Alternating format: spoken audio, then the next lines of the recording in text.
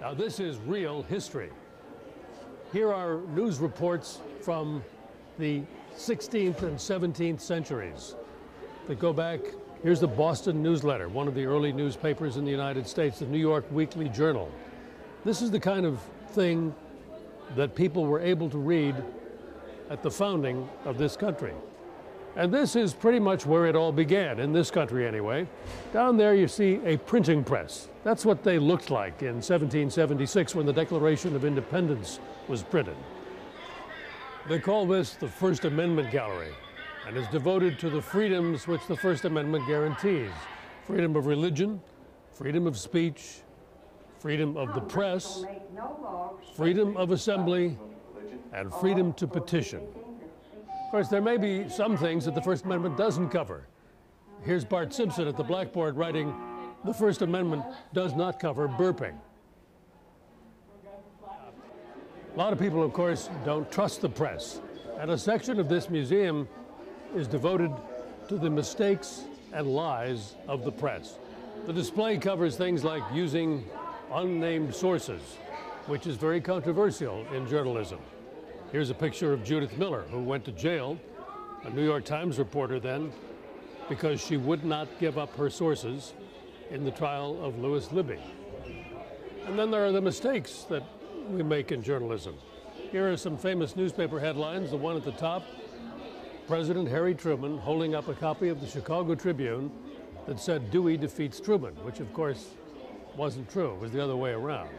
Here's something else that bothers a lot of people about journalism, but it's part of journalism. It's called sensational journalism or tabloid journalism. As the banner says, it's about sex, crime, and scandal. And there's a great quote from Jerry Seinfeld. He said, People that read tabloids deserve to be lied to. I don't know if I'd go that far, but you got to know what you're looking at when you look at some of these tabs. Elvis seen at Graceland, headless body in topless bar. One of the galleries in the museum is devoted to the great tragedy of our time, the catastrophe, the attack of 9 11. Wall of newspaper headlines covering the attack, and the centerpiece is a piece of the antenna from the North Tower of the World Trade Center, which, of course, was salvaged after the attack. These are journalists who gave their lives covering the news.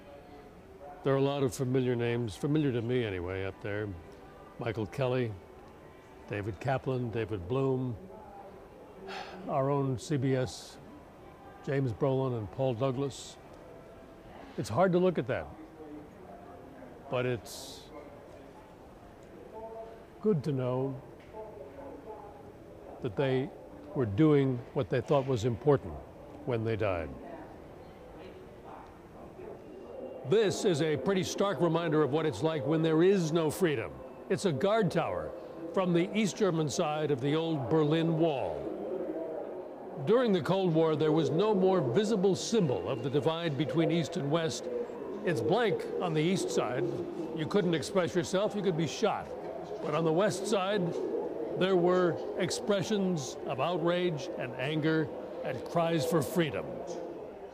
Here's where you can find out about the beginnings of broadcasting from the first transmission by Marconi, from the SOS broadcast by the Titanic in 1912, to the beginnings of radio in this country around 1920. Looks pretty funny now to see all this stuff, these big old mics, these old fashioned control panels. And did you know that the first television images were transmitted in 1927? Even though television didn't really become sort of a household thing until the late 40s or early 50s. Well, here's an idea. It says right here be a TV reporter. And if you've always thought that anybody could do it, I'm going to show you you're right. Just step right up here. This is the interactive show yourself as a reporter exhibit at the museum. And this gentleman here is going to help us figure out how it works. We start with the barcode. We have to pick a background. Which would you like, the White House? I'll take the White House. The White House. Okay, and what is your first name, sir? Bill. I'm putting that into the machine so we can identify your photo, All right. which you're going to take with you when you're finished. Now, how about emailing this? Can we?